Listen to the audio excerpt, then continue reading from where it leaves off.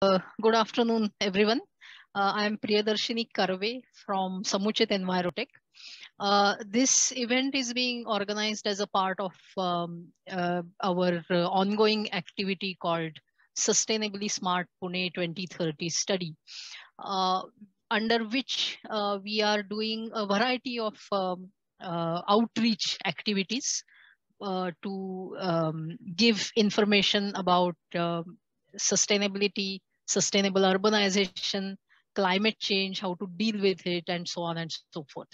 So part of one of those outreach activities is this series of talks uh, by various experts in different fields. So uh, today uh, we have with us uh, Ketaki Ghate, uh, who is co-founder of uh, Oikos for Ecological Services and also a trustee of uh, Ecological Society in Pune. Her work in eco-restoration, biodiversity protection, etc., has been recognized widely. Uh, so she's uh, she's she has joined us today to talk about ecological restoration and uh, i think this is the right time to talk about this because the monsoon is just approaching and um, uh, everybody is uh, sort of getting hyperactive about tree plantation drives and so on. So this is the right time to discuss uh, this topic of how exactly one can nurture uh, the ecosystem around us. Yeah. Okay. Uh, all right. So over to you, Kate. Yes. So thank you, Priya. Thank you, Purnima. So it's a great pleasure to talk on this platform as usual. Um, so yeah, so today we are going to talk about ecological restoration. So maybe I'll quickly share the screen and then uh, explain this process of ecological restoration along with certain case studies. And um, uh, maybe we'll also talk uh, at three different levels, how to take this ecological restoration ahead. So, so yeah. So do you see my screen? Yes.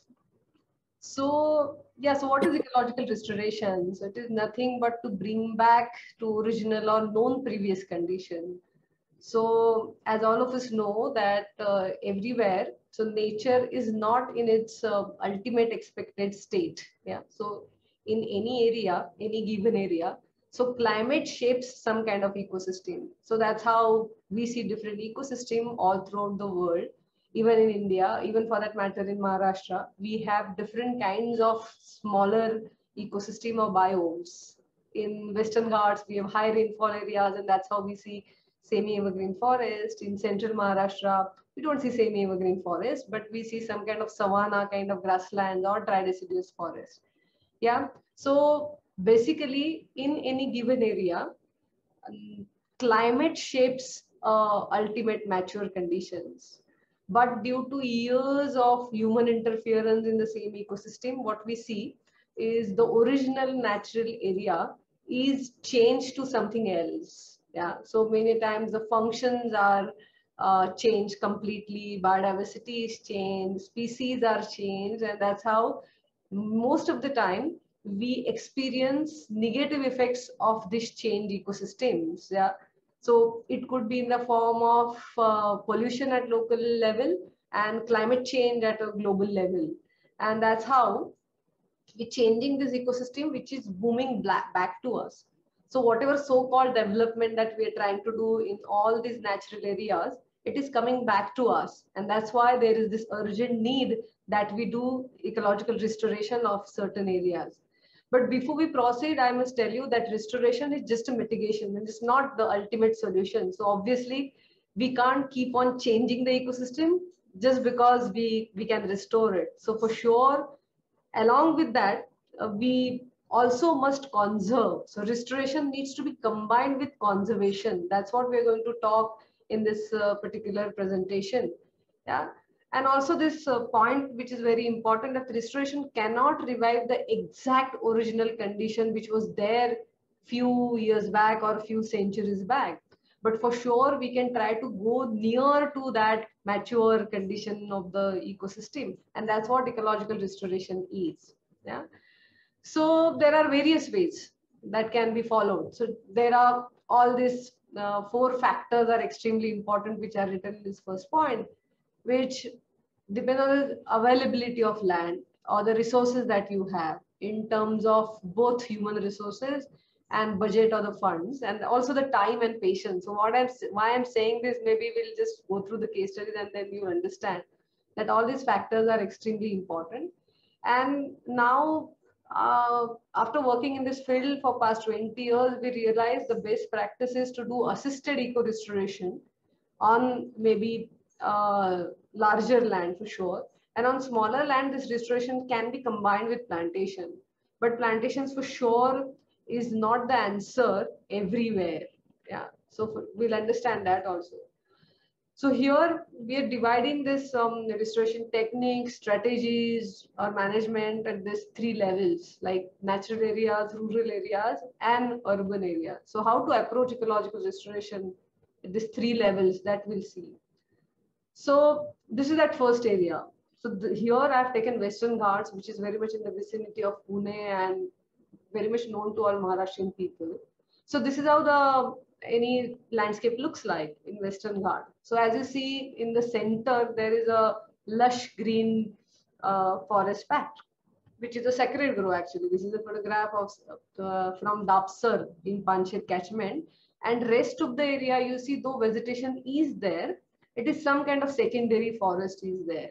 And this kind of secondary forest is there just because human beings have been cultivating this area or using this landscape since centuries. And they have protected this particular very small patch of uh, sacred grove. And this is how the sacred groves look like. Hardly any sunlight reaches the forest floor. And that's how very special conditions are shaped in these tiny forest patches where we actually see very much specialist species RET species are there. RET means rare endemic and threatened species are there as you seen on this particular slide. There are wild dogs, there are maybe this giant squirrel is there, which is one of the very important uh, species from northern western Ghats and hornbill, this great pied hornbill is there. And there are n number of very beautiful birds like this Shama, the singing bird from this uh, western Ghats forest. So this is just a representative species that I'm trying to show you that these are present only in this kind of forest patches which are only there maybe just on 1% or even less than that if you compare it to entire rest of the area from northern western ghats. This is the view of the same sacred grove.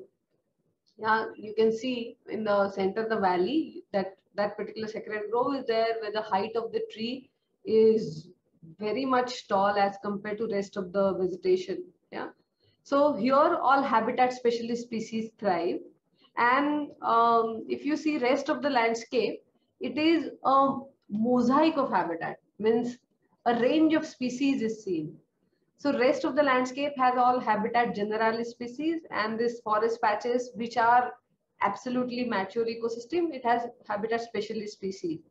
And if you see, I've just tried to put some dots in, in this particular slide. So this particular green dot that you see is representing Karvi patches on very steep slopes, there is a shrub which flowers once in seven years, beautiful flowering shrub.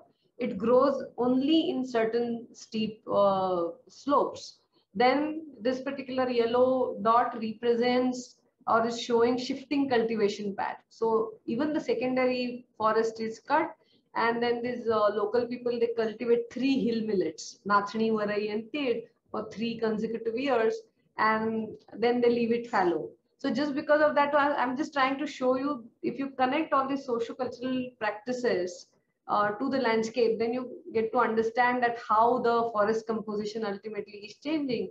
Then there are certain open areas. So in the valley, what you see, there are clusters of vegetation. So there, there could be clusters like Karvandara, Metha, Bhuma, all these kind of clusters are there in Western Ghats.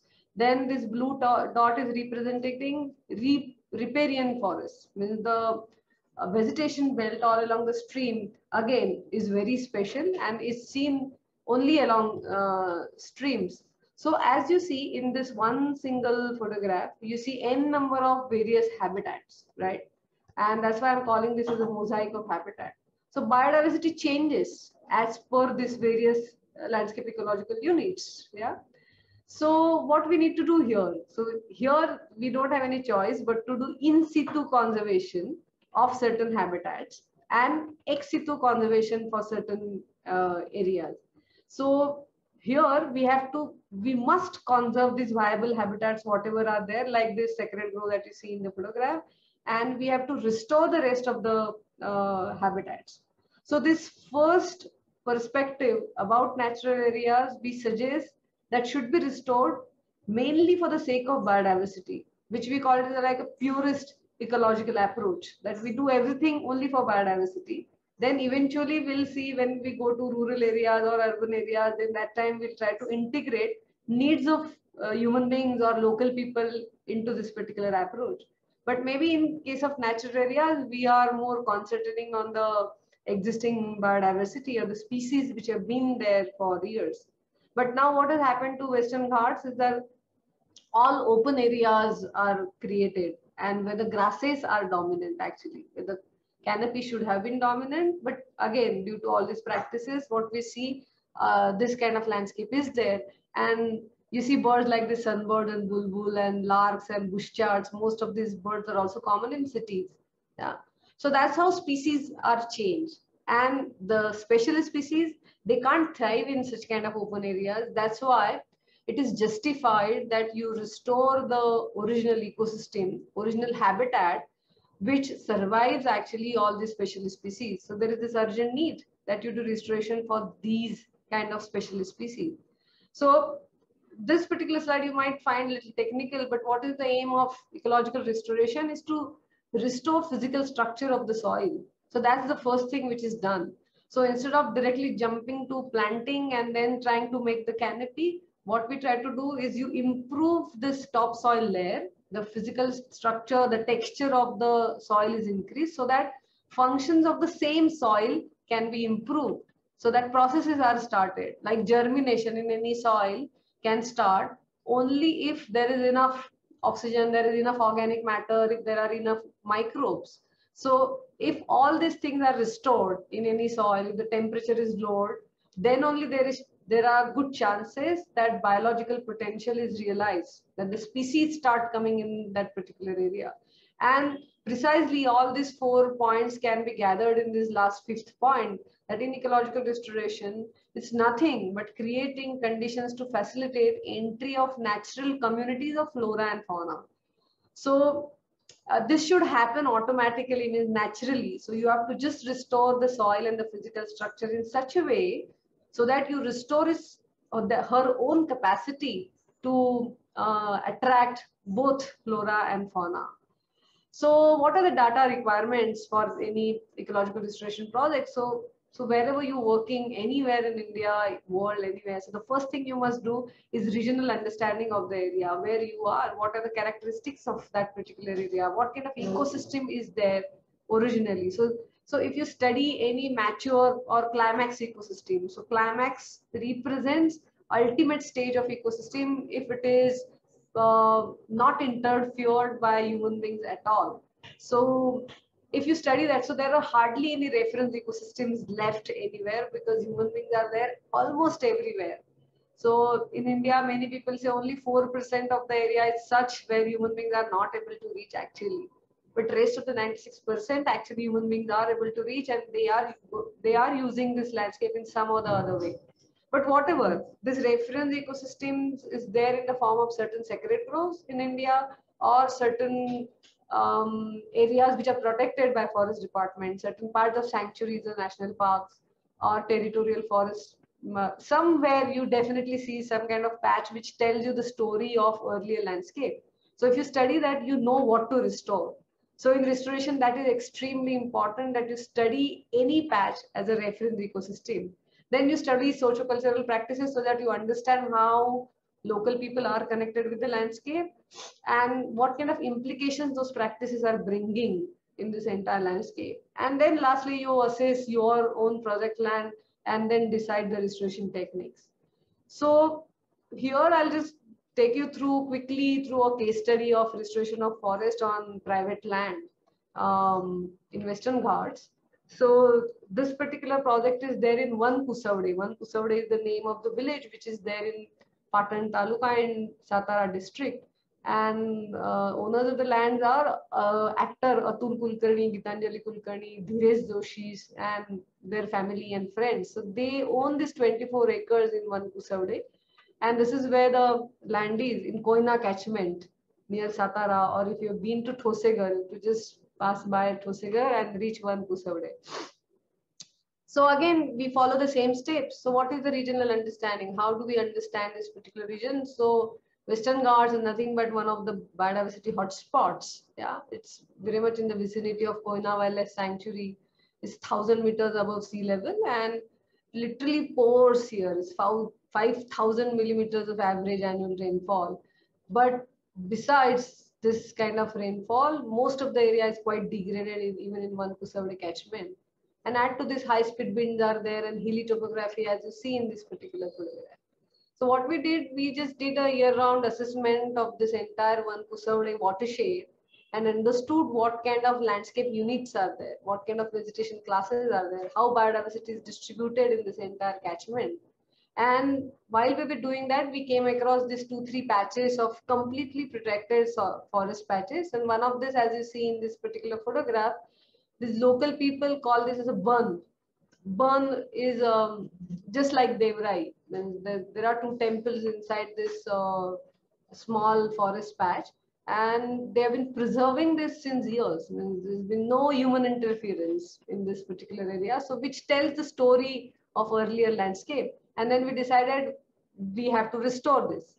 So, and again, why conservation perspective for this particular land? Because again, uh, as Atul even says this, that being urban citizens, um, we we we have a very high carbon footprint or ecological footprint just because of our lifestyle.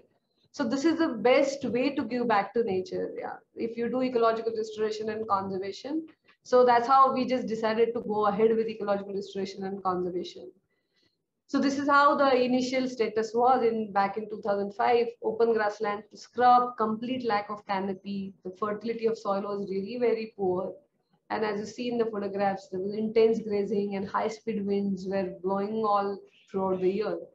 So obviously it's a long way to go from this particular barren area to the forest patch. It might take maybe 20, 30, even 50 years. No one really knows how much mm-hmm. time it would take.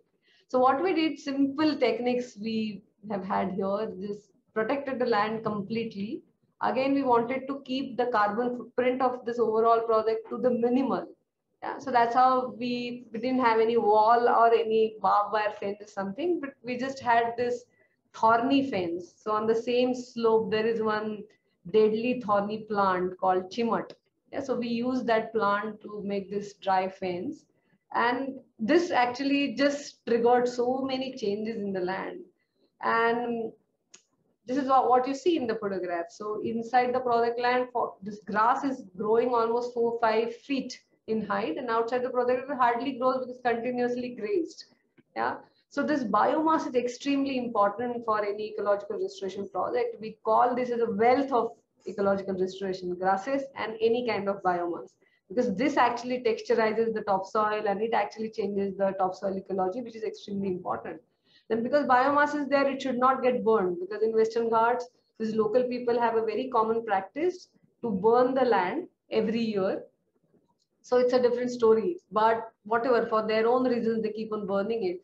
So fire should not enter the project land. That's why a belt of 10 feet, 15 feet is deliberately burned. And the local people definitely know this technique very well.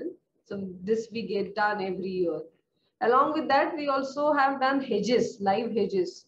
Like Nirgudi is the very common plant which is planted and which is non-palatable. So cattle don't eat it along with certain ficus species which now a very nice green wall is formed and also it is used by many smaller fauna so along with that as we discussed that because we wanted to increase the physical or improve the physical structure of the soil this kind of physical methods were done so one of them is this stone line this is done just for the sake of soil and moisture conservation and hundreds and thousands of these stone lines are made along the contours on the slope. And as you see behind every stone line, some kind of soil is arrested, some seed is arrested. And again, the growth of the biomass was very much evident. We also did some such kind of techniques as you see in the photograph, like gully plugs. Loose boulder bunds were made on the gullies so that soil and water is arrested, velocity is reduced. And wherever there are such kind of erosional features, they ultimately were uh, mitigated. So as you see, tons of soil was arrested behind all these bunds and this entire soil, uh, soil otherwise would have landed up in this Koyna backwaters. Yeah, so this is very much actually this is there even in government manuals. They, they call it as catchment area treatment and very much mandatory when they construct dams, but hardly anywhere it is implemented. Then we also did some such kind of percolation ponds, just 10 to 15 feet in diameter, again just to assure maximum water percolation. And now you can't even recognize this pond. It's completely changed habitat now. We also did stream restoration. So every 10, 15 feet, we had this loose boulder bunds. Again, uh, aim was just to reduce the velocity of water and let the water percolate and just recharge the riparian zone. So result of all these simple techniques of protection and soil moisture conservation is improve habitats. Yeah, n number of habitats. So there are grassy clusters now, somewhere some puddle which is getting formed. Clusters of um, shrubs were increasing in the numbers. And then along with that, we did uh, plantations of native plants. But this was not the aim, let me tell you. We did, every year we do plantations, but it's not the focus to do plantations. Then we also do seed dispersal every year. And seeds are dispersed in a very uh, uh, right location. Otherwise, if the seeds are just thrown in a barren area, they even if they get germinated, they get eaten or they die just because there is not enough uh, not good conditions for that particular sapling to thrive. Yeah. So again, this is very good result that we've got that that soil temperature were reduced, and this is what is extremely important again for uh, topsoil ecology. So earlier this land would get heated up to 60 degrees centigrade, but just when it is covered with the grasses, you can see almost 12, 14 degrees drop in the soil temperature. And that's what is very important for microbes and n number of invertebrates, uh, which actually are essential to just, um, they're part of this detritus food chain, which is extremely important.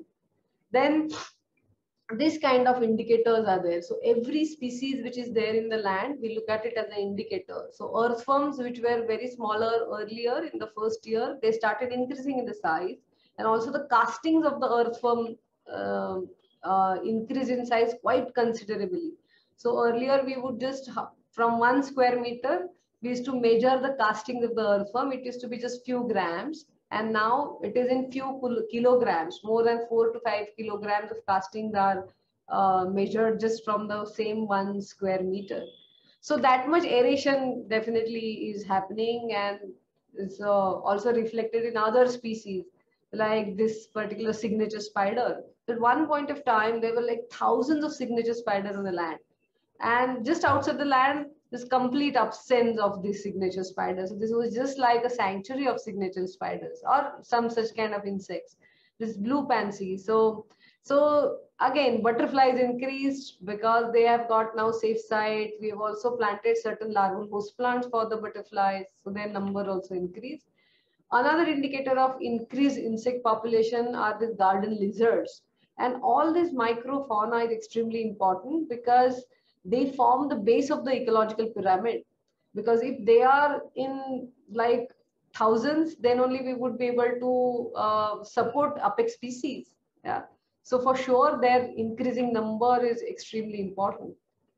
Then indicator of low, say, reduced temperature of the soil is the snake vine snake. So many snakes now we see on this particular land, just happy to receive them or see them, uh, identify them. So indicator of increased moisture is this particular leech. So uh, this actually used to be a fantastic habitat for leeches, but due to years of degradation, because the soil temperature increased and because the leaf litter and all the dampness was lost, that's how this particular species is displaced from this one Kusavde catchment and you see only along the streams in certain areas. But now this entire 24 acres is um, restored to have the uh, habitat for leeches. then watering need for the plants is reduced. So earlier we used to water the plants immediately after monsoon, that is in month of October. But now we start watering the saplings in month of April or May. Yeah. So again, because soil moisture is increased, we don't have to water the plant. So that much effort is also reduced. Yeah, that's what is definitely um, ecological restoration is. Then there are many rare species. As you see, this is Atul and this is the hand. You see a little snake is there, which is Russell's kukri.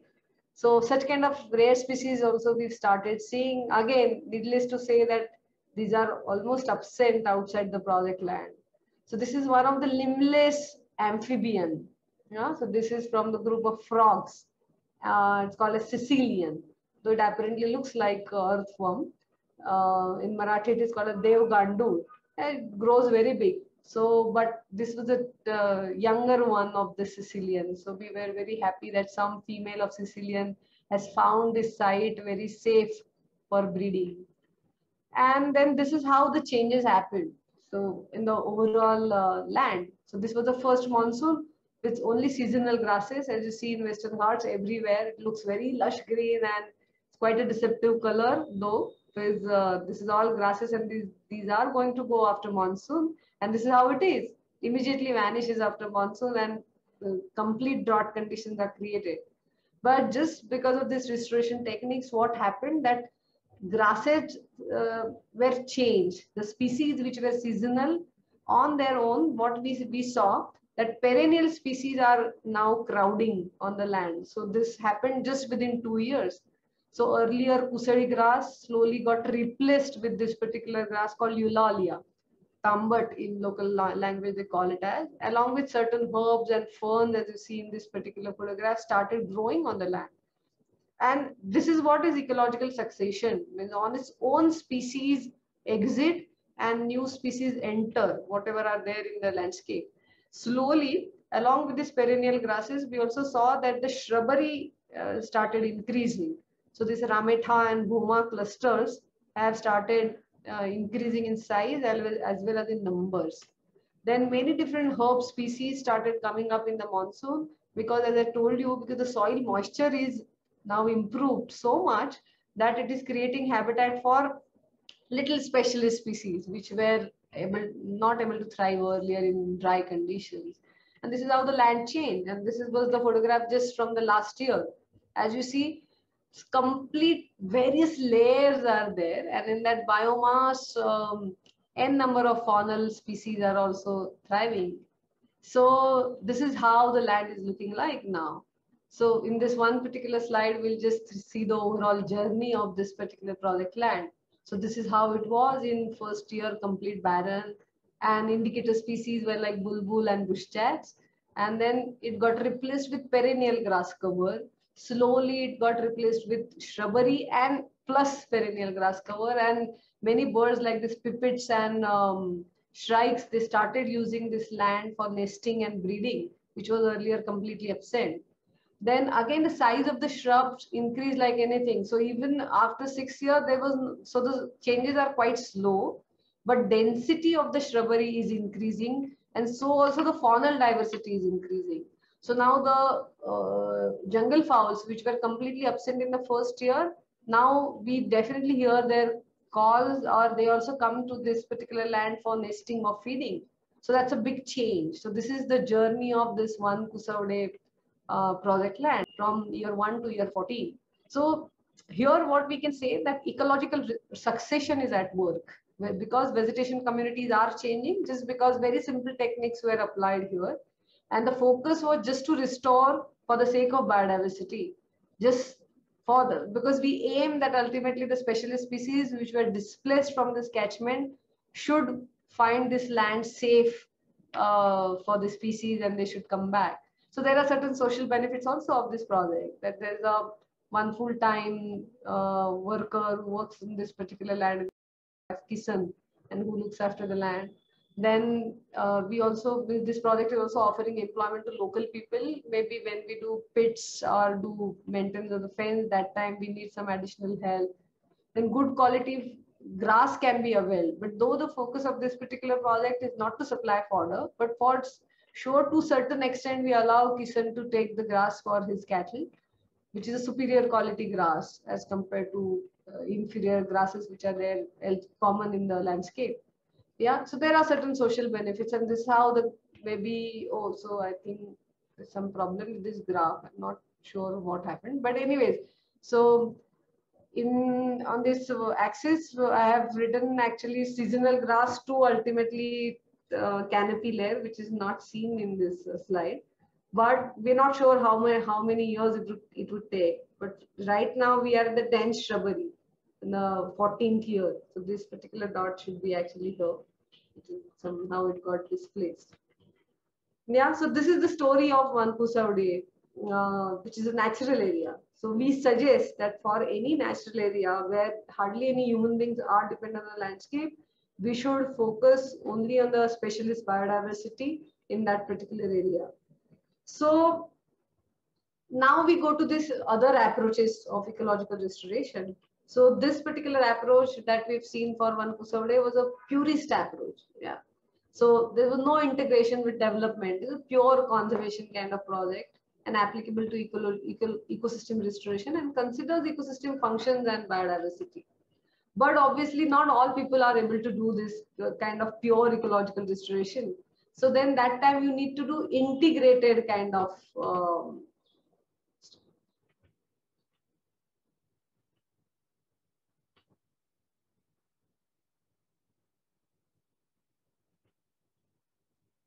yeah so that time you need to need to integrate this ecological restoration techniques in some other project. Yeah so what that could be. So it they say it's quite a practice. I'm not sure why it is going but it's a yeah, so this can be done either on community lands wherein you actually use restoration to suffice the needs of local community be it in terms of fodder be it in terms of timber or other livelihood options or this integrated approach also can be used by private landowners who are using or you're buying land just as a hobby, just wish to convert that land into some kind of resort or some kind of tourism destination, or even just for the sake of farmhouse. So many times you don't wish to go for pure ecological restoration, but it can be integrated. So many of our projects are like um, like this. So these are various projects, but we don't have like time to go through all of this. But in purist approach, so we have worked in one Vankusavde and many land, we worked on uh, private land, tried to do pure ecological restoration. Restoration of sacred grove again is done from purist approach. And in integrated approach, many development projects are there, like ecotourism destination we try to develop. So right now we're working in Yavatmal on 100 acres, wherein we're trying to conserve 100 acres um, and also come up with some kind of agro eco research center because in this 100 acres, a lot of agriculture land is also there. So that's how integration is done. Then for industries, we try to do ecological landscaping. Like instead of doing conventional gardens, uh, like lawns and maybe ornamental shrubs which are planted all uh, along the periphery of the lawn, instead of that conventional garden, we do ecological landscaping. Again, here, certain techniques of restoration are used of habitat development. So we try to create habitats for birds and for butterflies, larval host plants and food plants for butterflies are planted in the garden.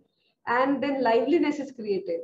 Then we also use aesthetically pleasing native plants. Yeah. Uh, so we have developed a, a good plant palette and many of these lists are also there on our website. You can check that. And we've suggested that for each zone, what kind of plants can be used for each of these various uses. Yeah, so landscaping is some kind of integrated approach we try to do. And then certain things, but uh, biomass planning for industries. We tried to do that, but though it was not implemented, but for one or two industry, we tried to do that. That you try to shape plantation in such a way so that it continuously supplies uh, biomass to, so that it can be converted into briquettes and used in the can be used in the industry. So we tried to explore, explore this potential also, but unfortunately was not executed. The planning was done.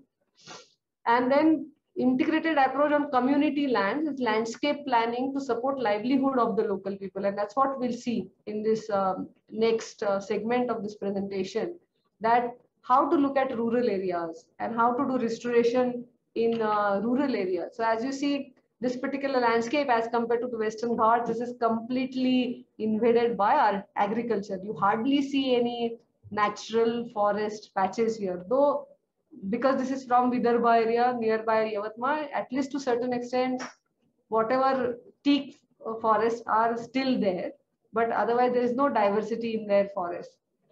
So this is how the drainage pattern was. And these are the only uh, maybe non-agricultural uh, patches, though completely in a degraded stage. So in this particular uh, catchment, then we also tried to mark certain old growth species because they are also equally important. Then we suggested that if we develop some kind of riparian zone, it would connect various patches. And here for rural areas, we suggest that we should use landscape ecology, uh, landscape ecology principles to design the land use and to for restoration also. So some kind of patch corridors can, matrix can be developed in this particular landscape so that we assure landscape connectivity, which is completely lost because of again intense agriculture here. So which can be established through riparian zone for sure. And here then also along roadside, you can do maybe green belts of native plants.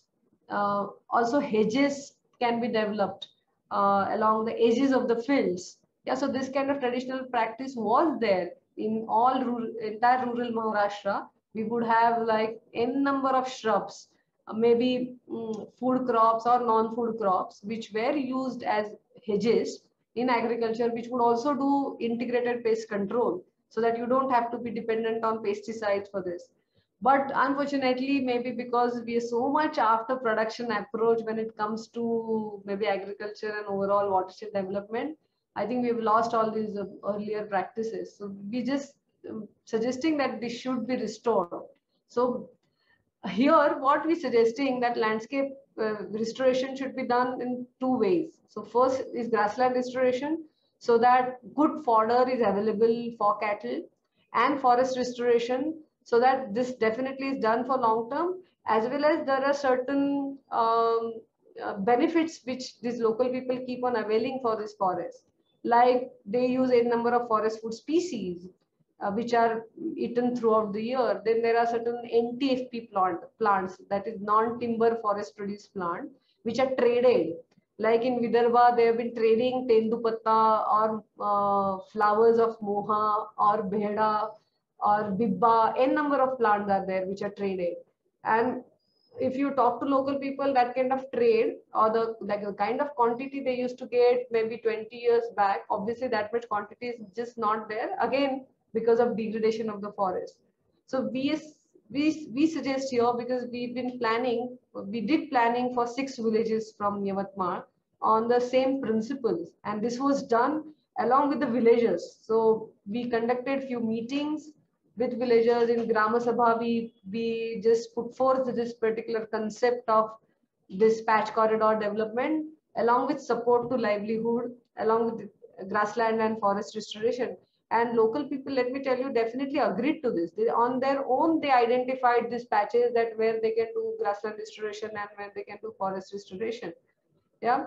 So it's just that you need to assure the complete protection and the this, the kind of story that i told you for Vankusavde you need to do that in patches here somewhere. And if local people decide or they come up with their own land use they can means the entire uh, village development can, plan can go towards actual sustainability.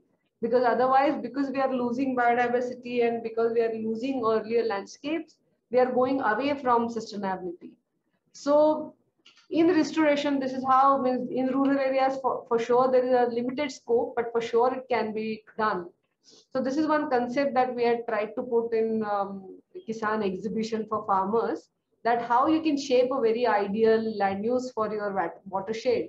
So what all things are there? So for sure you need forest because forest act just like a sponge. So all along the uh, ridge, water divide, you can have forest. Then everywhere all along the streams, you can have riparian forest. They actually keep on absorbing much of the water and also keep on maybe recharging the aquifers. That, that's why it's very important that you have riparian zone. Then you can do agroforestry on the slopes because everywhere, definitely in central Maharashtra, all our slopes are so degraded And again, years of intense grazing and fire have completely destroyed the earlier grassland or savanna kind of uh, landscape. And what you see is rocky outcrops or exposed. So why not to have agroforestry over there so that you have some benefit from there as well as to certain extent you also try to uh, restore earlier forests. Then you can also do timber uh, cultivation uh, for sure because timber gets good money. So that can be done. And there could be rotations in these plantations easily means you can keep it in a rotational cycle. Then there, there should be certain grasslands which are protected grasslands, completely protected, and you actually harvest the grasses. You you don't graze the cattle in that particular patch, but you cut it and then give it to cattle in the stall. And then there are certain grass patches which can be kept as gairan or uh, grazing lands. Again, on rotational basis, you can open each patch every year so that your entire grassland patch is not degraded.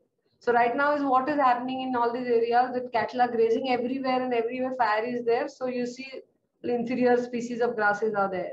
But the moment you protect grassland, you see superior quality uh, fodder species like Paunia marvela, the Marathi names, Dichanthium and Sehima, which are much palatable and very good for cattle. So, so the milk production also increases. There are enough case studies we have in Maharashtra. So just for that, if you do some such kind of management along with maybe even fuel wood plantation, instead of just uh, going all over the landscape and cutting off uh, forestries for fuel wood, instead of just choose high calorific value species and just plant it along the road, along the edges of the field or nearby settlement so that even women don't have to go all the way uh, to the forest to get this fuel wood. So this way, you can actually go towards sustainability in any uh, uh, rural landscape. So though maybe this is in Marathi, those who can read definitely can read this. But maybe here I have tried to summarize it in this particular diagram that uh, we need some such kind of sustainable farming practices. This is extremely important. Unless and until we shape our crop pattern in a sustainable way, we won't be able to restore our landscape. Everything is like connected together. So you can't talk about restoration without uh, changing the agricultural policies, at least at the village level. Then agroforestry, I talked about this. Then grassland for superior fodder is extremely important. Otherwise, what is happening? The demand and supply ratio is never matched. And uh, so that's why each and every cattle, cow hardly gives any milk. So instead of that, what we say that you have limited number of cows or buffaloes and feed them with very quality kind of a nutritional grasses. So this entire grassland management is very essential part of ecological restoration in rural landscape. Then work for live soil, as we talked in earlier case study. So the same can be uh, maybe implemented in case of agriculture. Then fuel wood plantation, waste management, equally important thing because now waste are reaching rural landscape and many times they don't know how to deal with that. It goes haywire. So improve biodiversity is extremely important. Many times it happens that we are losing many specialist species in this particular landscape and they are actually excellent gene bank which we are losing. So for this, we're suggesting that every village should have some kind of biodiversity park. So even if you are not able to restore your biodiversity at a landscape scale, at least on one acre, two acre in school or in some temple around Gram Panchayat building, you should at least just plant representative native plants so that for future you are securing at least your genetic bank. That's going to be very important. Then shift to alternative energy. That's subject that Priya keeps on talking a lot. Yeah, so this high time that we we talk about this. Maybe uh, um, in some or the other way, you harvest solar energy in much better way or harvest wind energy in better way. Uh, and whatever is feasible in rural areas can be done, I feel. Then forest for future for sure. So today, because as I've said, the approach is so much based on production that we wish to harvest each and every, or we wish to uh, cultivate each and every inch in the rural landscape. and not ready to keep any area for forest. But for sure, for future, we need to do that. Otherwise, for next generation, we won't have any species even to show to kids that this is how it was earlier. These are the species which were there.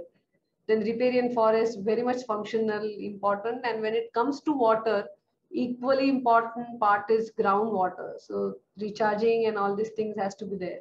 So if we work on all these facets, I think we would be able to go towards sustainability of uh, any village watershed. So restoration can't be just uh, carved out separately in isolated way and then work on it in rural landscape. But this is how I think we feel that more holistic approach is. And then lastly, uh, when it comes to urban areas, it's quite difficult. There's hardly any chance to do ecological restoration landscape scale, but whatever little definitely can be done. So there is this also wonderful subject named urban ecology, uh, which can be definitely studied. And again, it is based on the principle of landscape ecology wherein patch corridor matrix again is developed. But here in cities, what you see again, the infrastructure and the developed areas are so dense and so intense that hardly any natural areas are left. They're there only along the streams and the rivers and maybe this is a map of Pune city. So we are blessed to have uh, Pune hills for sure. But uh, we need to study this very well and assure again connectivity. This particular red dot represents Chandani Chowk. a shift but um, it's uh, Chandani Chowk actually has fragmented Pune hills. Otherwise, it was connected to larger uh, spur of Sahyadri. So Sahyadri ranges come almost till Pune city. But so earlier we would see barking deer and all these animals still Chatushrungi hill. But now we don't see because this very connection uh, is completely lost and they are still increasing Chandani Chowk and they're having many roads. So when it comes to urban areas, you need to study landscape very well and assure connectivity um, so that wildlife or say faunal species can uh, just move around to certain extent. So definitely this could be a debatable point that whether they should come in urban areas or how to look at them. But for sure, if you look at it from ecology point of view, we want biodiversity to thrive along with the human beings. So for that, we need to assure that. Then also roads can be developed in such a way so that you have wonderful, beautiful avenues with native plants, with a diverse native plants. So right now in Pune city, what we have is mostly all rain trees and cassia and peltophorum are extremely dominant. So instead of that, if we, we would have maybe other species which are uh, for sure supplying a diverse food for many birds and butterflies, so when it comes to obviously cities, we're not talking about leopards and all this uh, maybe uh, apex predator here, but at least definitely we can attract birds and butterflies and create habitats for them and can be done. So yeah, so this is how you can look at natural areas, rural areas and urban areas. And in urban areas, yeah, lastly, I've kept this slide that biodiversity parks can be developed on certain areas where in public zone could be there only on 2% and then the rest of the most uh, 90 to 98% can be uh, completely kept for biodiversity the way our hills are and there is one proposed biodiversity park which is there. So here many times they only again focus on plantation of the species but we also also need to look at creation of this um, habitats so if you create habitats for various species, including both flora and fauna, it's going to be beneficial for overall biodiversity and definitely can be done in uh, urban areas. So instead of just creating beautiful looking gardens, you can actually go a step beyond that and try to create liveliness. And this is my last slide that um, this is a holistic way of conservation uh, along with restoration for sure. So we need to uh, maybe do any any project, any activity that you do. If it consumes minimum, if it takes minimum energy, it would be good. If the ecological footprint is minimal, if there are no harmful waste, and if at all we follow certain threshold to go against nature, means we being species or the way we are, uh, or we the way we have shaped ourselves, the human race, we have to go against nature for our day-to-day -day survival but can we have at least some kind of threshold so that we uh, conserve natural resources and biodiversity to certain extent? Then we plan for future generation. right now there's no such plan. Means obviously every generation is facing some kind of threats just because of depleting resources and depleting biodiversity and obviously climate change, the biggest issue of the century. And lastly, we must accommodate non-human beings in any aspect of life. Every time we only think, so we only have human-centric approach. So obviously because here all humans are uh, discussing such kind of problems, going human-centric approach is going to be there. But somewhere we need to think about non-human beings in every aspect of life so that we, along with restoration, if we combine all these principles, I think we might see some better future. Yeah, thank you. So if you have any questions, we'll take. Thank you, Ketaki, for such a such an enlightening and uh, like a really interesting information, especially in the urban areas. Like lastly, when you said uh, about the wild animals to be uh, seen in urban areas. So we actually we conducted an event on that mm -hmm. where we discussed like, do we really want uh, wild animals uh, in our areas? So yeah. we had uh, we we had a wonderful discussion on that. Okay. And talk on that as well. Uh, I think we just have one question right now, so I'll just. Uh, I think the same question which uh, which we spoke about that should we remove non-native plantation in order to plant or re, uh, or reforestation with new with native ones.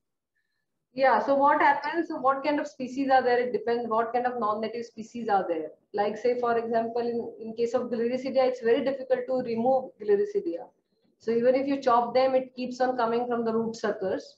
So it's very difficult to remove. And if at all you wish to remove it, you have to like uproot it completely. So you have to change the complete landscape and then obviously all soil erosion would happen.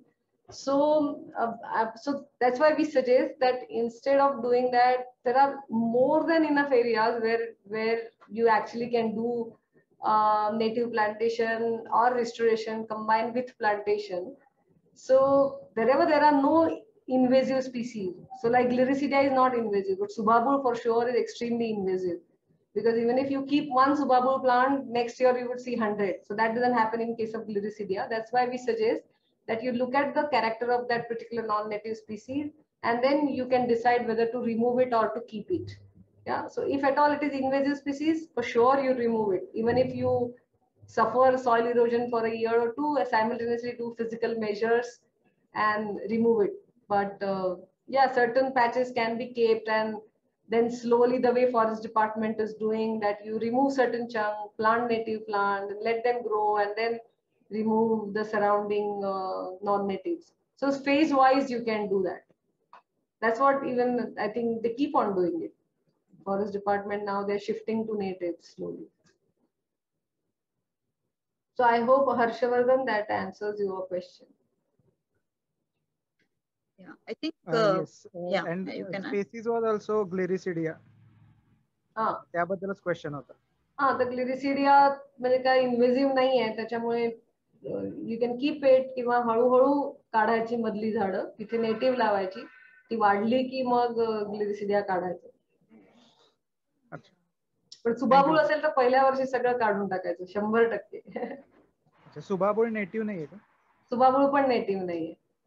And it's very it's very invasive म्हणजे subabul was planted in India introduce by Indira Gandhi just because it's a excellent fodder plant and it is no doubt about it पण म्हणजे after we started working in the field then we realise that cattle they don't need only subabul they need the diverse diversity just like us in their palate so फक्त सुबाबूळ घालून त्यांची तब्येतच बिघडते. And again if you observe all these local people even if subabul is planted they would feed cattle to very little extent थोडंसंच घालणार आहेत ते. So rest of the feed whatever is going to cattle it it includes very good diversity from the landscape खूब गोष्टी घालतात ते.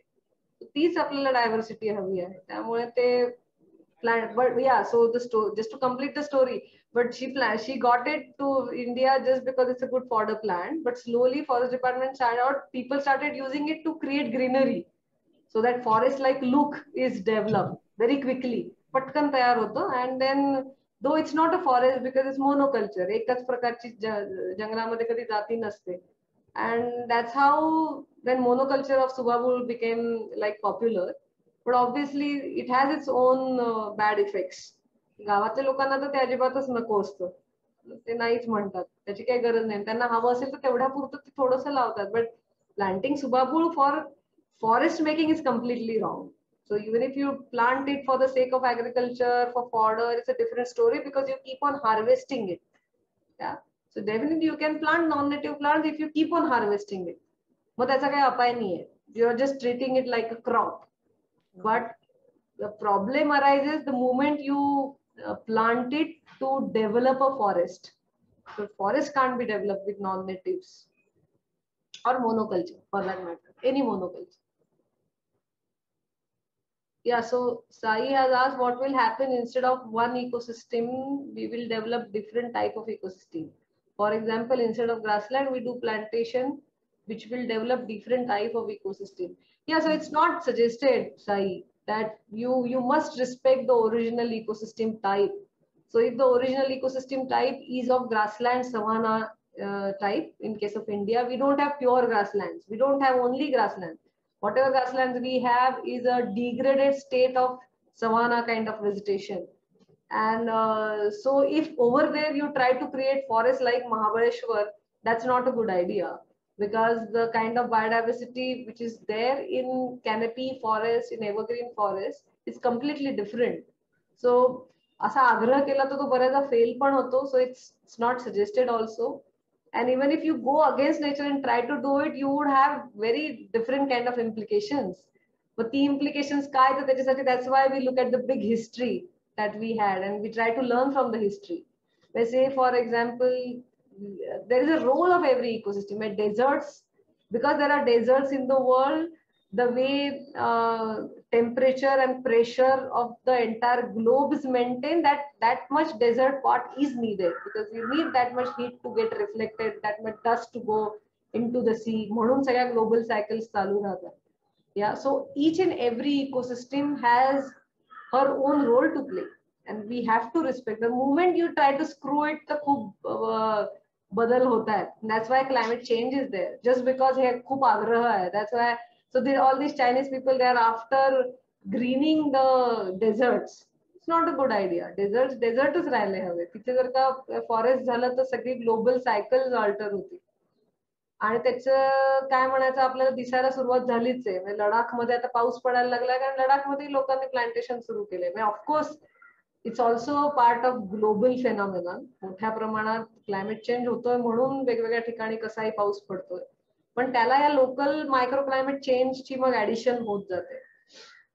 That's why Sai we must respect original ecosystem and do plantation as per the native species तिथल्या grassland मधल्या ज्या native आहेत त्याच लावाव्या मग त्याच्यात मोस्टली ड्राय डेसिड्युअल स्पीसीज डॉमिनंट असतात सो त्या लावाव्या हिवर बाबू मोई सालई अशा there is a question about fire line huh. yeah uh, that you missed yeah. uh, do you how do you deal treat fire line in your planning i think that's what he's trying to ask mm-hmm.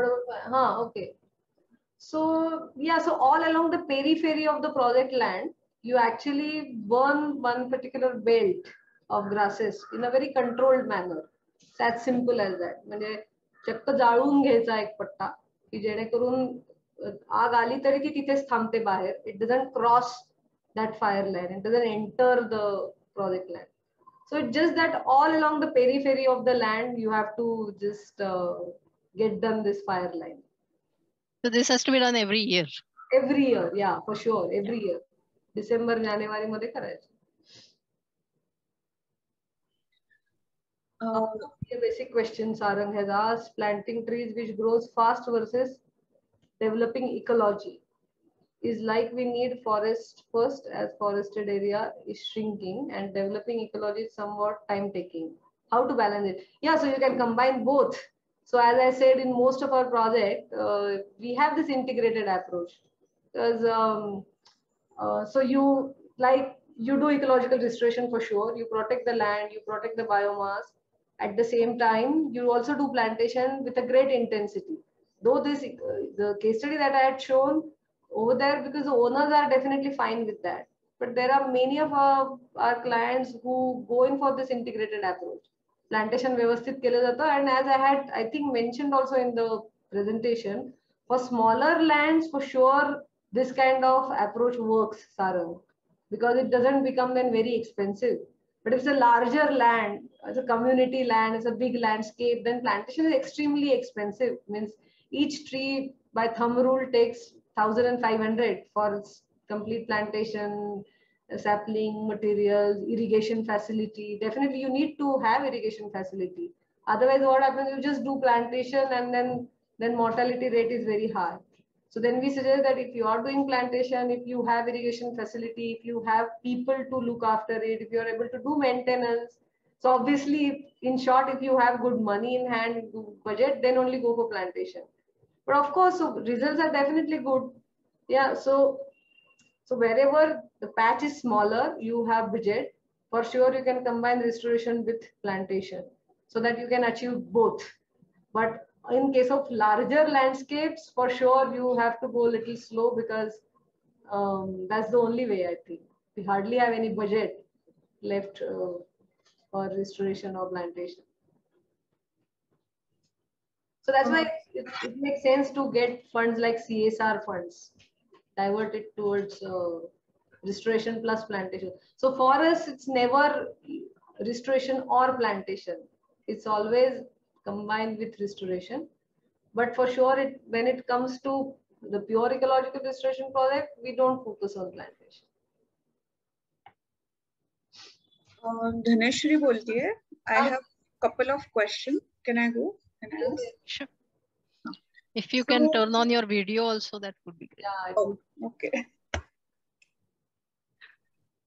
Yes. So uh, my first question is about uh, the invasive species uh, that you were talking about.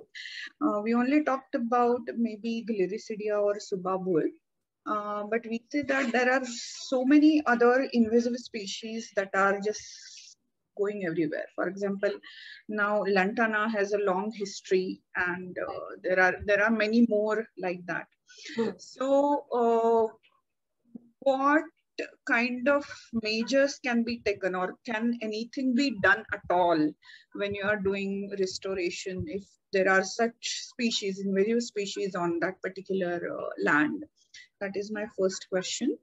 Uh, second question is uh, about specifically uh, pune uh, tekadis yeah. Uh, like in many parts, uh, many tekadis, there is uh, recent years, there are a lot of efforts about plantation um, on these tekadis. And uh, they are well intentioned, but uh, again, um, as far as uh, I don't know, um,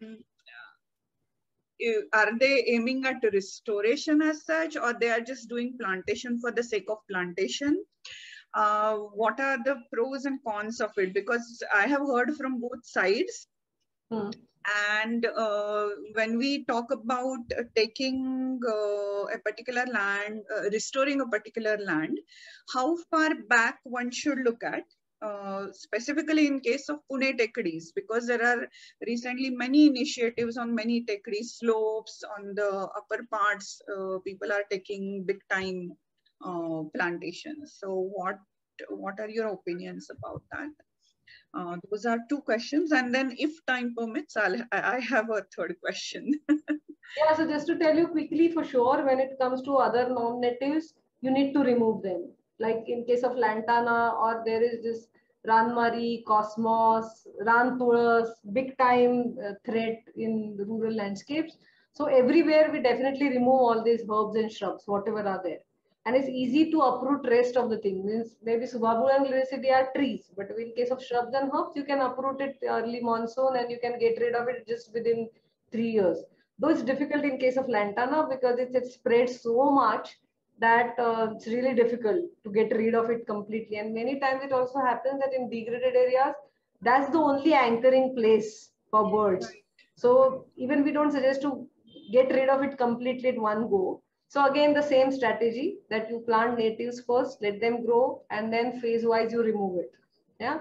But for sure, removal has to be done because otherwise they are extremely invasive and they take over, they suppress the original uh, flora. Same is the case with Cosmos and Ranmari. So we used to take quadrats in our studies. And that time we have seen uh, along Mulshi Road on Pune, we would take this one by one square meter and used to count herbs. And so that time I remember counting almost 40 plus herbs and many nymphal stages of insects in that whatever one or two square meters. And now after 20 years is only cosmos, just one single species and hardly any insect flora, insect uh, diversity. Yeah, so that's how definitely this invasive suppress the native flora. And it's so it's not only what you can say a Uh, uh, uh, subject which is close to a heart of a naturalist, but also local people are suffering. So if you talk to all these Mulshi people or people on Satara Road, they, they keep on cursing Cosmos because the fodder species have decreased and Cosmos is not a fodder species. Yeah, so, so there are many implications when it comes to invasive plants. So for sure, you need to do good management of invasives. And so for we had taken this Cosmos removal drive so before actually even it, it is in this flowering stage, you cut it or uproot it, simply uproot it. And then before it flower, it, sometimes you get late. So at least you don't let the flower turn into seeds. So you remove the flowers. So अशा वेगवेगळ्या strategies करता येतात. But removal for sure is extremely important. And then uh, your second question was how to look at our टेकडी विषयी म्हणत होतीस ना की how how किती किती मागे जायचं असं something like that you were asking ya so मागे जायची पण गरज नाही सो राईट नाव म्हणजे आम्ही म्हणतो की याची देही याची डोळा बघूया म्हणजे currently the kind of climate that Pune city supports, the kind of rainfall that we have. So this rainfall definitely can support dry deciduous forest or to certain extent even moist deciduous forest. So wherever in Maharashtra you have this much rainfall and you have protected areas which doesn't have any human interference, that land uh, naturally gets converted into forest. Okay. If we don't cut it, if we don't burn it, or if cattle grazing is absent, आपल्याला आत्ताच दिसतं म्हणजे even if there are certain patches on मातोबा टेकडी somewhere some corners where it doesn't get burnt or there's no cattle grazing or no one goes there to cut, cut the thing so over there, we see good wild species getting restored. So now that uh, in we say that in central Maharashtra, even on Pune hills, that succession is arrested just because of fire and grazing. Succession होतच नाही जे आता आपण one कुसवड्याच्या जमिनीवर पाहिलं सो ते होत नाहीये just because pressures are there the movement you remove pressures even in tiny pockets you see the ecosystem is flourishing okay and even if you study many other books maybe. So there are uh, for uh, types of forest vegetation Champion Seth pustake. So that also gives you good idea that if in a certain climate zone in a rainfall zone what kind of vegetation should we expect? Okay. So now there's the second theory also ki, uh, even if this kind of thing is there but because human beings have been using this landscape they have changed it completely. And fire is there everywhere so so that's why I say की ह्याची देही ह्याची डोळाच बघा तुम्ही protect करा टेकडीवरच आपल्याला आता असे काही भाग दिसतात की where in we see good व्हेजिट woody vegetation can be restored and species like काय Dhawada is growing wild and the canopy also gets formed in certain areas so yeah so that's why if you look at this particular subject with this perspective i think it gives you the answer that what to restore. Anything else? म्हणजे आता जे टेकड्यांवरती especially around Pune through either misunderstanding or political pressure there is this whole fashion of doing uh, gardens and uh, uh, what what do they call it? Nakshatra one is another uh, ridiculousness which has come in. So uh, how how do we how do we combat uh, that? Yeah. So actually, if you see, he सगळी citizens' house असते. For that matter टेकडीवर gardens आणि नक्षत्र उद्यान करूया आणि फिरायला जायला जॉगिंग ट्रॅक करूया So actually, if you see this Tekdi is all owned by territorial forest department. So actually, thanks to them, त्यांनी जर का उद्या इथे गेट लावलं आणि म्हणलं की नाही आमची जमीन ओनरशिप आमची आहे दे कॅन ऍक्च्युअली डिसअलाव पण ते करत नाहीयेत बिकॉज ऑब्व्हियसली खूप आपल्याकडे त्याच्यासाठी खूपच एज्युटेशन होईल. आणि ते आहे म्हणूनच खरं तर अशा चुकीच्या गोष्टी पण होत राहतात. Otherwise if you look at the forest department strategy there only strategy is just protection त्यांच्या दृष्टीने प्लांटेशन वगैरे सुद्धा ते कधीतरी they they do it only on certain areas कारण त्याची पण अनेक कारण आहेत. म्हणजे may be lack of interest म्हणूया किंवा तशी मॅनेजमेंट स्ट्रॅटेजी त्यांची नाहीये म्हणून म्हणूया. किंवा लॅक ऑफ़ बजेट पण. So because of that the only strategy they have is protection आणि तेवढ्यानी सुद्धा टेकडी खरं तर चांगली हिरवी होईल. काही वर्ष लागतील पण होईल. For sure you need to keep side or म्हणजे काय keep away from all the stresses आग नाही लागली पाहिजे ग्रेझिंग नाही झालं पाहिजे आणि कट पण नाही. आता स्लम्स मधली काही मुलं इकडे तिकडे हिंडत असतात गंमत म्हणून आग लावतात त्यामुळे बर्निंग होतं आणि त्यामुळे आपण म्हणलं ते सक्सेशन होत नाही. ओके आणि हे आता आपल्याकडे खूप मोठी नक्षत्र गार्डन करूया काय जॉगिंग ट्रॅक करूया वगैरे असं म्हणणारी जी मंडळी असतात पण जी लोकल असतात ती बऱ्याचदा तिथल्या नगरसेवक तिथला असतो. या सगळ्यांच्या मदतीने मग ते हे अशा वेगवेगळ्या गोष्टी ते कराव्या लागतात. पण बेसिकली हा पर्स्पेक्टिव्हच लॅकिंग आहे की आपल्याकडच्या नॅचरल एरियाजकडे बघायचं कसं. म्हणजे for sure you can do garden in Pune city हवी तेवढी करा. नक्षत्र उद्यान तुम्ही कोथरूडमध्ये करायला काहीच हरकत नाही. पण टेकडी सारख्या नैसर्गिक प्रदेशात ते करू नये. नदी सारख्या नैसर्गिक परिसंस्था नदी म्हणूनच जिवंत राहावी. कारण इफ यू स्क्रू इट तर यू आर एक्सपिरियन्सिंग काय त्याचे इम्प्लिकेशन आता कोविडमध्ये तर ते अगदी चांगलं रिअलाइज होतं. तर ya so you need to have that particular perspective which is absolutely scientific actually so जर का या शास्त्रीय पद्धतीने ह्या आपल्या प्रदेशांकडे बघितलं रेफरन्स इकोसिस्टीम शोधली आणि actually you go back to त्या रूट पर्यंत गेलं की काय हवं आहे आपल्याला तर obviously you would deny all such kind of beautification or even monoculture. Yeah, but that that means we have to do a lot of uh, awareness raising and uh, education of the general public because uh, that's that's where I mean the corporators are wanting to do it because that's what they see as a demand arising from their voters. So um, somewhere uh, I guess that kind of a campaign needs to be run uh, where uh, these basic principles have to be taught to people. I guess. Yes. And many times naturalness is considered inferior, I think. In yeah. Means if the tekdi is having all diverse wild plants, they, they feel ki sagar hai, you need some kind of beautiful thing. So that is some different beauty. Yeah. So gardens are also beautiful, but the beauty is different. So that's what I think, as you rightly said, so awareness is needed. get yeah i just had one question if there is time hmm. should go I... ahead yeah. yeah yeah go ahead yeah so uh, also in recent years i'm seeing a trend that uh, there are uh, just before the rainy season there is a lot of um lot of people take up this seed ball activity Mm. Oh. So they uh, they'll collect the seeds and all those seed balls are prepared and people are told to like uh, throw it somewhere in uh, so yeah. that the plants will grow and so on. So how useful is that? I mean i am always a bit skeptical about this.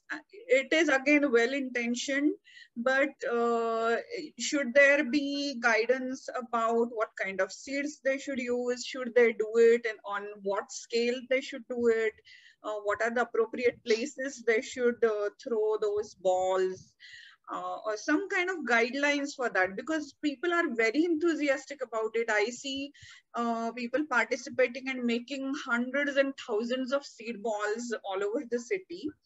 Uh, but i don't see any guidelines as such or any uh, expert advice coming about it yeah so so yeah so that's very true that seed dispersal is beneficial because then the seeds which are able to thrive germinate naturally they they anyway uh, make it to maybe sapling and ultimately to mature tree. But where to throw the seeds is extremely important. Means the many times people feel that because this is a barren land and you have to green it then they throw like thousands of these seeds on a barren plateau but obviously they are not going to get germinated and they won't see any future there's no future to this kind of seeds for sure so if at all you have to throw the seeds, we always suggest that throw it at least in some better condition where there is a safe site. So simply just find some safe site for your seed that is some nearby some cluster where there's at least little better soil. Then definitely it would get germinated and then it would also get protected.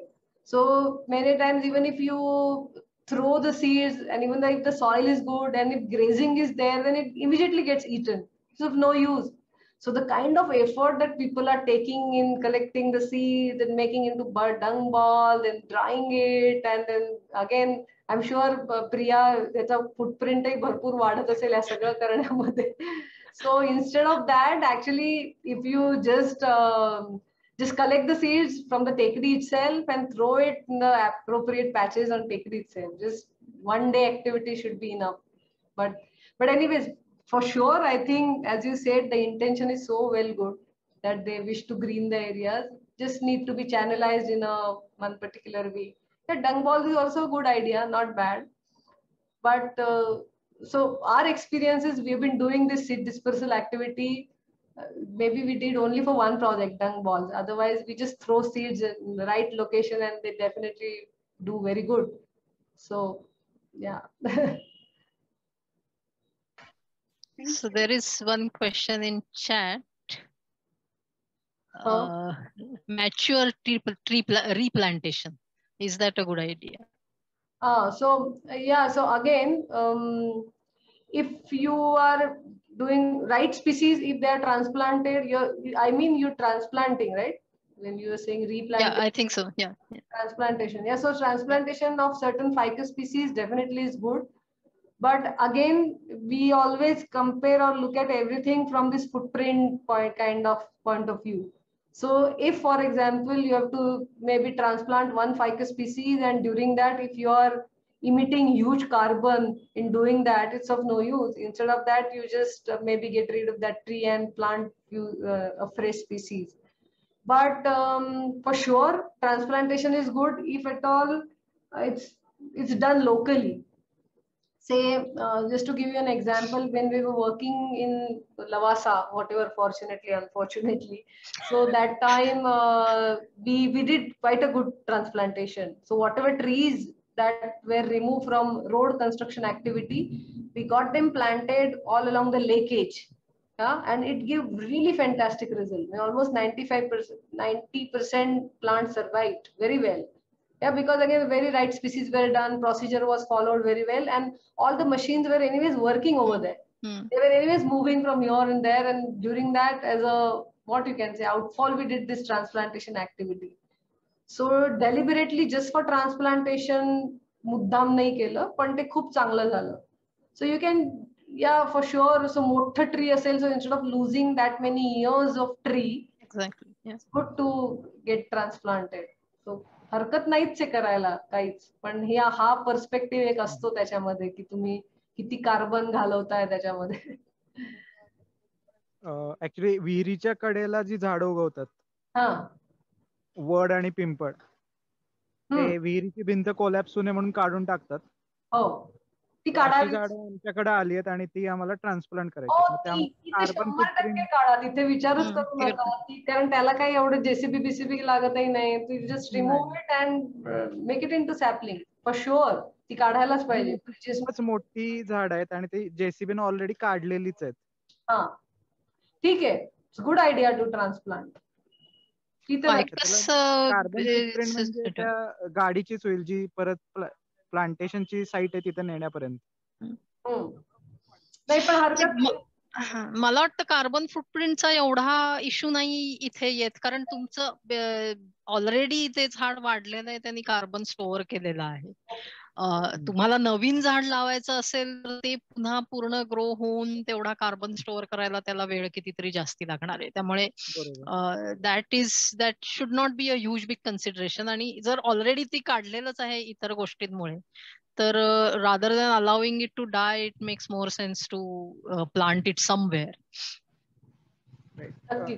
पण याला जर काही rules म्हणजे किंवा हे follow करायचे असतील तर ते कुठं मिळू शकेल? असं ऑनलाईन बरेच गोष्टी आहेत भरपूर आहेत पण म्हणजे साधं इतकं असं आहे काही ठिकाणी क्रूडली केलंय आम्ही प्लांटेशन असं की तुम्ही एक खड्डा तयार ठेवा जो जे झाड काढायचंय त्याचं मोठा खड्डा इथे सगळी त्याचा रूट बॉल मोकळा करून घ्यायचा सो ते रूट वॅड एकदम सहज उचलता येतं जेसीबीने आणि ते उचलल्या उचलल्या वरच्या फांद्या कापलेल्याच असतात म्हणजे एम शुअर हे तुम्हाला माहिती हो. वरच्या फांद्या आधी सगळ्या ट्रेन करायला लागतात तरच त्याचं वजन कमी होतं झाडाचं.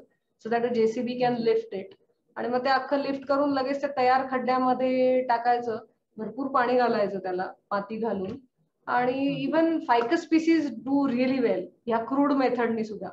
पण if you see very formal procedure that we followed even in Lavasa it was quite formal की ते मग किती दिवस ठेवायचं एक्झॅक्ट तेवढेच दिवस ठेवलं. मग फांद्या कापल्या त्याला गोंडपाट बांधलं गनी बॅग्स बांधल्या. काही ते काही तर त्यांनी वॅक्स पण लावलं. म्हणजे ते ट्रान्सपिरेशन त्यांचं कमी व्हावं या आहे. तर अशा बऱ्याच गोष्टी त्यांनी केल्या. पण मी म्हणते तसं की तशा दरवेळी गरजेच्या आता पीएमसी पण खूप मोठ्या प्रमाणात ट्रान्सप्लांटेशन करते किंवा हायवे अथॉरिटी पण करत असते. सो त्यांचा पण तसा रेट चांगला आहे. फायकस स्पिसीज तर नक्कीच होतात काही स्पिसीज नाही होत कारण त्यांचं नेचरच तसं असतं. पण फॉर शुअर एक चाळीस दिवसांची प्रोसिजर येते चाळीसाव्या दिवशी तुम्ही ते ट्रान्सप्लांट करा पण त्याच्या आधी चाळीस दिवस फांद्या कधी कापा रूट्स कधी कापा ते कसे कापा? म्हणजे त्याचा पण तो ऑब्लिक कटत जायला पाहिजे. तो रूट बॉल जेव्हा आपण मोकळा करतो म्हणजे इफ यू नो जेवढी झाडाची कॅनपी असते तेवढी मुळं हॉरिझॉन्टल गेलेली असतात. तरच ते झाड उभं राहतं. ते खाली नाही जात. म्हणजे खाली जातं ते फक्त टेक्स्टबुकमध्ये लिहिलेलं असतं. पण अदरवाईज झाडाची मुळं सगळी आडवी जातात. तर ती सगळी कापायला लागतात. मग ती कशी कापतोय आपण इथपासून ते वरच्या फांद्या कशा कापतोय? ह्या हे सगळं तुम्ही जर का नीट चांगली प्रोसिजर ती चाळीस दिवसाची फॉलो केली तर फॉर शुअर चांगले रिझल्ट मिळतात. ती आहेच. इंटरनेटवर पण बऱ्याच ठिकाणी तुम्हाला ती मिळते. पण इफ़ नॉट मी म्हटलं तसं की अगदी क्रूड मेथडनी सुद्धा बऱ्याच ठिकाणी होतं. पाणी मुख्य चांगलं घालायला पाहिजे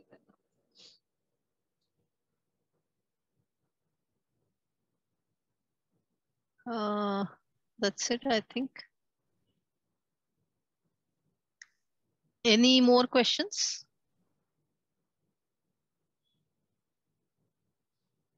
So that's the that's the advantage of being in a virtual room. There is no uh-huh. other event, people standing outside to throw us out to. So, yes. Okay, good. I think that's it, I guess. Okay. so Purnima, are... last words. I was just asking if anybody wants to unmute, you can unmute and uh, share your feedback, comments, anything. Like, the people who have not been talking. And we need a to. photograph also. So yes, yes, yes. So we have some time. So yeah. if not, then we can. I can uh, like I ask everybody to turn on their videos so that we can take a quick picture, a group picture. I, I, I hope everybody is able to do that, I guess.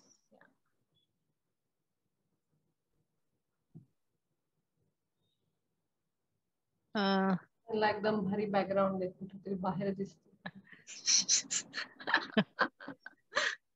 Good you are outdoors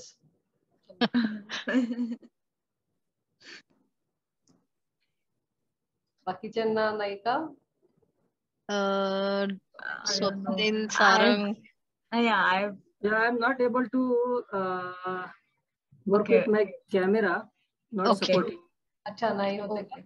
But okay. anyway, here I want to make one point is uh, in this eco restoration work and uh, uh, sort of rehabilitation of certain um, area or certain landscape, the one more important thing is yes, there are a few uh, seasonal cycles that we need to understand as far as restoration of that particular area. Secondly, when we are trying to select the local varieties of trees or plants or herbs or shrubs, then many times a problem is arising that exactly what is the germination route of certain plant species. That is what some of the difficulties uh, we faced in many of the areas, but eventually we try to solve with some of the uh, botanists or other people that we uh, know. Hmm. Uh, so uh, uh, the one definitely thing is along with the local groups, maybe it is urban area, maybe it is rural area, maybe it is a, a certain specified area. But some of the principles of JFM, that is Joint Forest Management, hmm. will always help us to do that. In many areas, we did it in Mulshi or wherever it is. Uh, for uh, uh, taking support of local people, then the nearby resort owners or whatever, because for everybody's perspective, there are some of the indicators that we can say that few of the tourists or the like-minded people would like to see once they are in their resort and they have two days time and whatever. So this ecological way also can be helped in these particular things at uh, many of the medicinal and other plant-based is concerned. So we can really take this uh, restoration strategy with every uh, of such kind of projects. So whenever we are talking about these Western Ghats and their encroachments and other corridors and compartments and something like this, but definitely with the help of uh, the youth, uh, maybe there are different programs in the colleges, maybe different programs in the schools. Mm. we can uh, combine them together as we are practicing it from many years. But anyway, thank you for this kind of session after many, after I think one and a half year or so, I'm getting this opportunity to speak with like-minded people. So thank you very much for these efforts. Okay. Thank you. Thank you. Thank you. Thank you, Swapnil. Um, yeah, just we I, we're just waiting for two, two, three people. I think they're not able to start their video yeah, for some reason. Yeah, that's okay. We just check. I'll just yeah. check if they are able to. Otherwise, yeah, Sarang is on. Oh, Sunita, that's you, Sunita. मग अशी वाटलं की पण म्हणलं काय माहीत नाही नाव वेगळी असतात your on mute Sunita Sunita went. Mike. Okay हा. I'm in Bangalore right now. Oh, is it? Not in Pune? Yeah, and with my grandchildren. Oh, okay. so I, I kept myself video off and unmuted. I didn't do that. They're sleeping right now. Time. Yeah. Yeah, I, I will personally meet you when I come in Pune. Sure. And then talk to you because I we have bought a land in Mulshi and we want to just uh, do a survey and then we'll start something over okay. there. Yeah, the restoration is in mind, but uh, I don't know because there is a uh, Katkari Vasti there and they are doing lots of things and they are staying there for, I think, 40 or more years. Okay. So, uh, so we have, have to educate them and they should have some sort of income and like that. They are collecting powdering and all that. But now they are doing some other things also. Uh, hmm. They are fishing in the Mulshi Dam and they have uh, also there is a uh, this thing uh, what a poultry is there set by Tatas and they are doing all those things. So we'll need to educate them and then uh, we can have something with along with them and then uh, we can go for restoration and they should have some sort of income so they won't cut the trees and all that. Mm. So I'll uh, talk to you personally after when I come to Pune. Okay. Okay. so good to see you. Sai Sai Sai नाही साई नाही साई नाही होत त्याचं काय some some there's some problem I don't know so I just got the snapshot Oh, you no, no, no, no. I'm, I, I, I'm, I'm just taking. So no, everybody is nice. Guys is smiling. I know, but no, no all the smiles are frozen here. no, no, you're smiling. Okay, yes, I got it yeah thank you. Thank you everyone.